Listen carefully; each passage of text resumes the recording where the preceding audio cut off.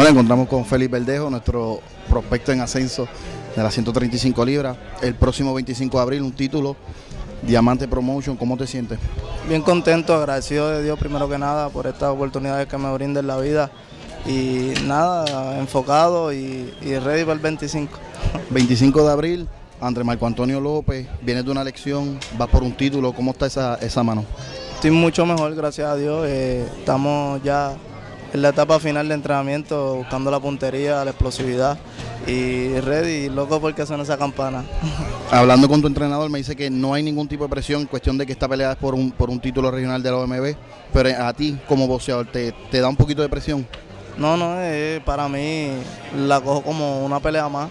No me puedo meter esa presión ya que pues eh, eh, siempre hemos nos hemos enfocado en el entrenamiento y, y hacer el trabajo bien. Después que estemos preparados bien, pues entendemos que debemos hacer una buena pelea.